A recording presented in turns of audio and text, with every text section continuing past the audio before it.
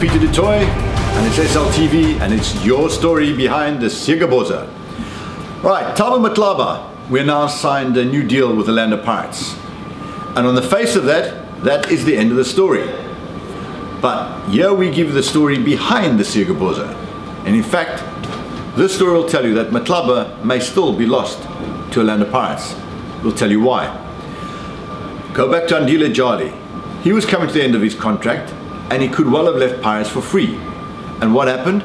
Jali signed a new contract. And that was the same situation we got now with Matlaba.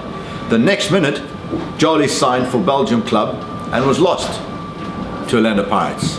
But we can promise you, there's the promise that if a club comes for him from overseas, as they did with Jali, they will sell him.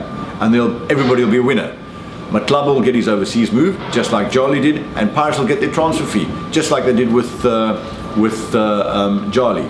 So, there is interest, big interest from a Matlaba from overseas, and particularly Germany.